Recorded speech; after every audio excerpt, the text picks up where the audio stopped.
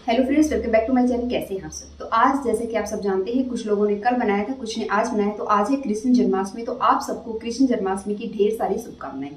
तो आज क्योंकि मैं कुछ स्पेशल बनाने वाली थी तो मुझे लगा कि आप लोगों के साथ भी शेयर करती हूँ। एक्चुअली मैं ऐसी ऐसी कुछ भी चीज़ें घर पे बहुत कम बनाती हूँ। मैं सिर्फ़ नॉर्मल चीज़ें ही बनाती हूँ uh, जो भी सब लोग बनाते हैं। बट ऐसा कुछ नहीं कि बहुत यूनिक यूनिक चीज़ें बनाती हूँ वो सब मैं नहीं करती हूँ। ठीक है? क्योंकि एक तो बाहर की चीज़ें कम खाते हैं ये है रीज़न दूसरा आ, ये हुआ कि अभी मेरी एक फ्रेंड ने कुछ लड्डू बनाए थे तो वो घर पे दे के गई और बच्चों को बहुत पसंद आए तो उन्होंने जिद करी कि आप भी बनाओ। बार बार बोल रहे थे तो मुझे लगा कि आज क्योंकि दिन भी अच्छा है कृष्ण जन्माष्टमी है कृष्ण जी को भी भोग लग जाएगा। और साथ ही साथ जो है आ, हम लोगों की हमेशा इच्छा रहती है कि खाना खाने के बाद आ, जो है ना हम कुछ ना कुछ मीठा खाने की जो इच्छा रहती है वो भी हमारी इससे पूरी हो जाएगी। ठीक है? तो आज कृष्ण जी को भोग लगेगा उसके बाद हम इसको डेली यूज़ कर सकते हैं। तो क्या है वो चीज़? किस तरह से बना रही हूँ? और फ़र्स्ट टाइम मैं भी बना रही हूँ। कभी बनाए होंगे तो मुझे याद भी नहीं है एक्चुअली तो देखते हैं वो कैसी बनती है। अगर अच्छी बन जाती है ना तो इस डिश को मैं आ, इस रेमेडी को या फिर इसको मैं हमेशा ही बनाऊँगी। जैसे ही ख़त्म हो जाएगी तो फिर से बना सकती हूँ। बहुत आसान है, लेकिन देखते हैं कि किस तरह से बनेगी। तो चलिए डिले नहीं करते हैं, देख लेते हैं इस रेमेडी को कैसे बनाना है, किस तरह से बनाना है, और अगर आप भी बनाना चाहें तो डेफिनेटली बना सकते हैं। बिल्कुल आसान है। तो चलिए स्टार्ट करते हैं। तो हमें चाहिए कि एक कढ़ाई उसके अंदर मैंने घी डाल लिया है और आप कोशिश करें कि जो गहरी कढ़ाई होती है, डीप होती है, वो ले तो ज़्यादा अच्छी रहती है। ठीक है, अब हम मेज़रमेंट करके बेसन डालेंगे। जितनी भी क्वांटिटी आपने डालनी है, आप डाल सकते हैं। यहाँ पे मैंने एक बाउल की हेल्प से इसका मेज़रमेंट किया है। इससे क्या होगा, जब हम इसमें चीनी ऐड करेंगे तो उसमें हमें हेल्प हो जाएगी कि कितनी ऐड करनी है और आगे के लिए भी आइडिया आ जाएगा। तो इस तरह से करके मैंने बेसन के बेसन की तीन कटोरी ली हैं। और घी स्टार्टिंग में बहुत कम डाला था जैसे कि आप देख पा रहे हैं। अब इसी थोड़े से घी में इसको हमने चलाना है। एक साथ बहुत ज़्यादा घी डालने से क्या होता है कि इसके अंदर गाठे पड़ जाती हैं गुठलियाँ पड़ जाती हैं और फिर मुश्किल हो जाती है ठीक है? तो इसलिए आप थोड़ा थोड़ा करके घी डालें और बहुत ज़्यादा घी अगर हो जाएगा ना तो लड्डू बांधने में जो है दिक्कत हो, हो सकती है। तो जैसे कि मैंने आपको बताया कि मैंने फ़र्स्ट टाइम इनको बनाया है और मेरे से कुछ गलतियाँ हुई तो अगर आप भी फ़र्स्ट टाइम बना रहे हो तो पूरी वीडियो को ध्यान से देखना। इससे क्या होगा, जो गलतियाँ मुझसे हुई वो आपसे नहीं होगी और डेफ़िनेटली मैं इसको नेक्स्ट टाइम बनाऊँगी और जो गलतियाँ इस बार हुई हैं, उन्हें अगली बार हम नहीं दोहराएँगी। ठीक है? यही होता है प्रैक्टिस करते करते हम चीज़ें सीख जाती हैं। तो कुछ इस तरह से करते करते आपने इसको बहुत अच्छे से थोड़ा थोड़ा थोड़ा थोड़ा करके और पूरे को चलाते रहना है। ये बेसन है, अगर आप इसको इसी तरह से छोड़ दोगे तो जल जाएगा। लो या मीडियम या लो फ्लेम पे इसको पकाना है और आप अपने अकॉर्डिंग फ्लेम को मीडियम और लो करना, क्योंकि कई बार क्या होता है कि जैसे कि मैंने बोला कि बेसन जलने लगता है। अगर आपकी कढ़ाई बहुत पतली है तो आप कोशिश करें कि मोटी कढ़ाई में बनाएँ। और इसको इसी तरह से लगातार चलाना है। एक मिनट के लिए भी मैंने इसको नहीं छोड़ा था, ठीक है? तो आपने भी यही करना है, इसको छोड़ना बिल्कुल भी नहीं है। ये देखिए थोड़ा थोड़ा करके हमने इतना घी इसमें ऐड कर लिया है कि कुछ इस तरह का ये दिखने लग गया है। अब धीरे धीरे करके ही आपने भी इसमें ऐड करना है, ठीक है? क्योंकि जो मेरी फ्रेंड ने बनाए थे ना, वो बहुत ड्राई ड्राई मुझे लग रहे थे तो मुझे लगा उसके जैसे ना बने थोड़ा सा घी मैं एक्स्ट्रा ऐड करना चाह रही थी। तो इस तरह से मैंने सोचा थोड़ा थोड़ा करके ऐड करेंगे ना तो बहुत आसान रहेगा। इसके बाद बस ये पूरा प्रोसेस मैंने ऐसे ही किया है और लास्ट में आप आपको खुशबू तो पहले ही आनी स्टार्ट हो जाएगी, लेकिन एक ही चीज़ का ध्यान रखना कि आपने इसको एक सेकंड के लिए भी छोड़ना नहीं है, लगातार चलाना है, ठीक है? तो थोड़ा थोड़ा घी डालते हुए कुछ इस तरह का ये बन जाएगा। और जब आपका इस तरह से बन जाए ना, ऐसे जैसा कि अब, अभी आप देख पा रहे हैं तो ये बिल्कुल परफेक्ट है। इससे ज़्यादा घी आप इसमें ऐड ना करें। लेकिन, क्योंकि मैंने बताया कि मैं चाह रही थी थोड़े अच्छे बने, उसके चक्कर में मैंने इसमें और घी ऐड कर दिया था। ठीक है? तो बस वही गलती मैंने करी कि और घी इसमें ऐड कर दिया और एक दो गलतियाँ और भी की जो आपको बताऊँगी।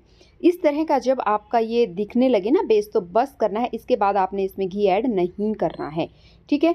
लेकिन मैंने कर दिया, जैसे कि मैंने आपको बताया, और भी घी मैंने इसमें ऐड किया था। तो ऐसा दिखने लगे ना तो सिर्फ़ बस उसको तब भूनते रहना बिल्कुल भी उसमें और घी ऐड मत करना। तो इस तरह से करते करते और जब आपको लगे कि बेसन का कलर डार्क हो गया है पकने लगा है तब तक आपने इसको लगातार बिल्कुल इसी तरह से हिलाते रहना है और आपको लग, कलर दिख जाएगा बेसन का थोड़ा सा डार्क हो जाएगा उस टाइम पे आपने अपने बेसन की फ्लेम को बंद कर देना है। ये देखिए मैंने इतना घी डाल दिया था कि, कि इस तरह का लिक्विड बन गया था। इसका क्या हुआ कैसे ठीक किया वो भी अभी आपको बताऊँगी। इस तरह से हो गया। और जैसे ही पकने के बाद आपने फ्लेम बंद कर देना है। जैसे ही आप फ्लेम बंद करेंगे, उसके बाद आपने इसके ऊपर देने हैं पानी के छीटे।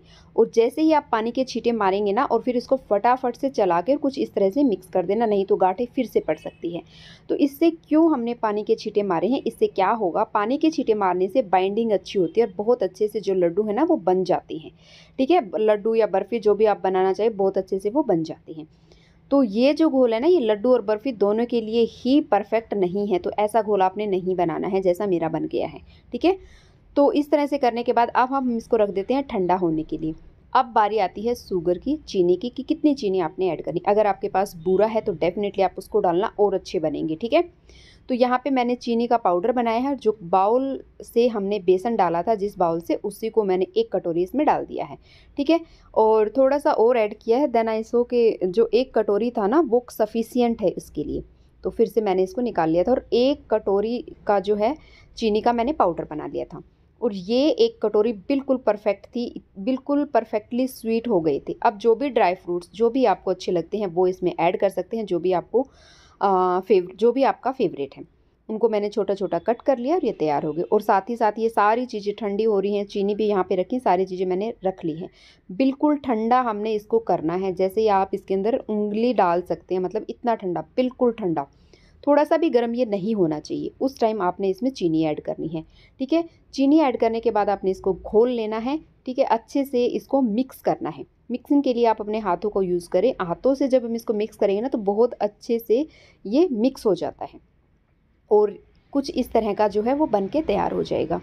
तो आप भी ध्यान रखना। एक तो ये ध्यान रखना कि घी आपने बहुत कम डालना है ठीक है? जैसा अब मेरा दिख रहा है ना ऐसा ये बन के तैयार होना था। मतलब इतना घी इसमें रहना चाहिए था बट मैंने थोड़ा सा ज़्यादा डाल दिया।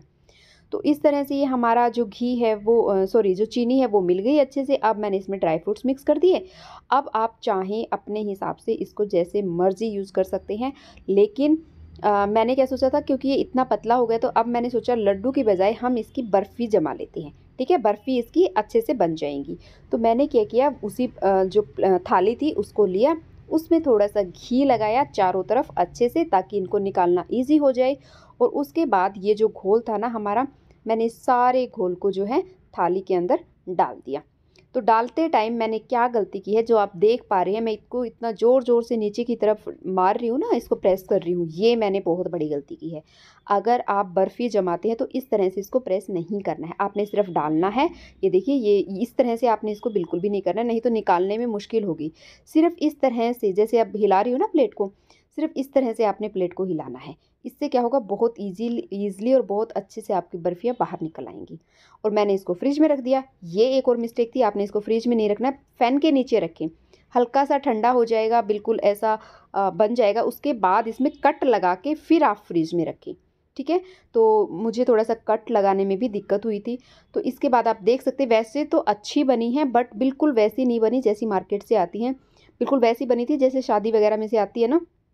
कुछ कुछ टूट गई कुछ कुछ फूट गई, बस वैसी ही बनी थी। तो ये देख सकते हैं, मैं आपको हिला के दिखा रही हूँ, निकल रही हैं, बट थोड़ा सा प्रॉब्लम हो रही थी, इनको जब मैं निकाल रही थी तो कहीं से अच्छे से निकल रही थी, कहीं चिपक जा रही थी और ये उसी वजह से हुई थी, जो मैंने इसको थप्पड़ मारे थे ना ऐसे ऐसे इसको प्रेस कर दिया था, वो आपने नहीं करना है, बस इसको हिलाना है प्लेट को और सारा इक्वली फैल जाएगा। इसके बाद मैंने इनको निकाल लिया था। देखिए, कुछ ऐसी बर्फ़ी हमें मिली थी, जैसे हम शादी में लेके लेके आते हैं ना, कुछ टूट जाती हैं, कुछ पूरी रह जाती है, वैसी हुई थी। कुछ जो नीचे लगा रह गया था ना, उसको मैंने इकट्ठा करके लड्डू बना दिए। तो ये एक छोटी सी वीडियो थी, अच्छी लगी तो लाइक कर देना। हाँ टूटी फूटी है, ज़रूर है, लेकिन टेस्ट बहुत अच्छा था। ठीक है तो ज़रूर बनाना, लाइक ज़रूर करना, अगर अच्छी लगी है, थैंक यू फॉर वॉचिंग। बने रहिएगा इसी तरह की वीडियोज़ देखने के लिए।